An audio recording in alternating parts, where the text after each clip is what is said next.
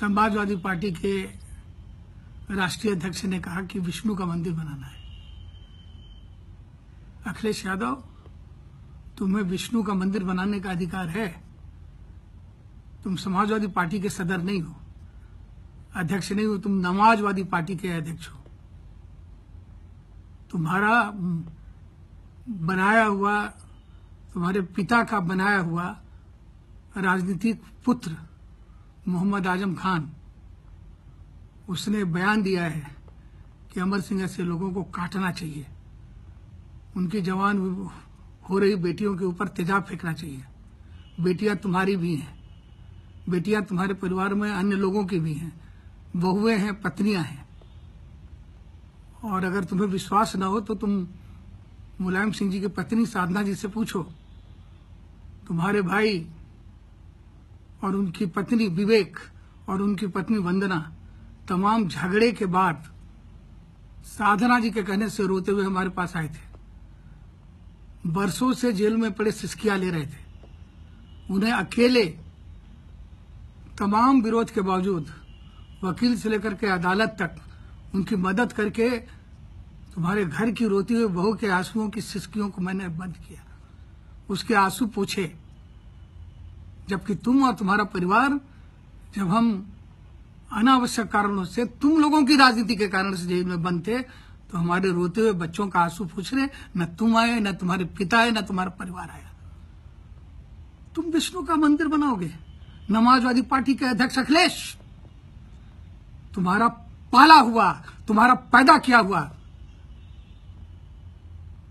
Timur Lang, Alauddin Khilji, Nadir साहब Abdali और महमूद गजनवी की नस्ल और संस्कृति का राक्षस आज़म खान हमारी बेटियों को तेजाब से नहलाने की बात करता है, हमें काटने की बात करता है।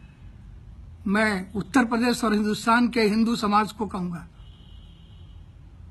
और अगर इसके लिए मुझे सांप्रदायिकता का तमगा मिलता है तो बेशक मिले।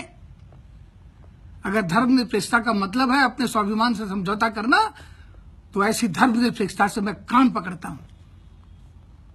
असाफकुल्ला खान और कलाम ऐसे राष्ट्रभक्त मुसलमानों का सम्मान मैं कर सकता हूँ।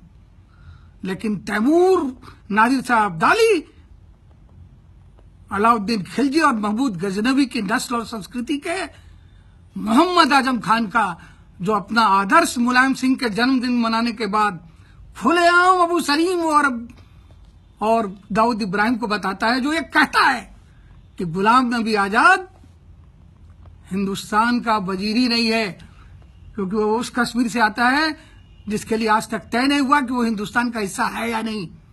जो हमारे प्रधानमंत्री नरेंद्र मोदी को आतंकवादी कहता है, जो खुलेआम भारत माता को डाइन कहता है, ऐसे राक्षस।